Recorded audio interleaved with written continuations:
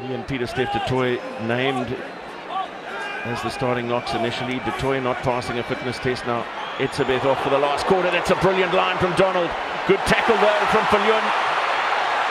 And now Leyds chases the kick of Kolbe. And Dillyn Leyds brought down by an ankle tap. Oh, it's brilliant for SP Marais!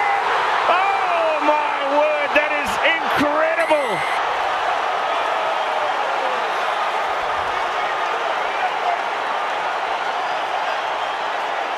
Gee, we've seen some skill from both sides at Newlands this evening. SP Marais in with the try.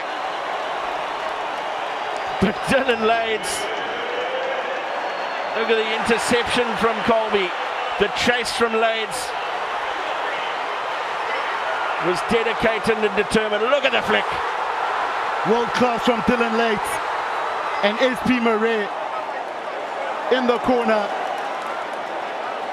And that means a lot. That has opened this game up. The Stormers are going to start believing now.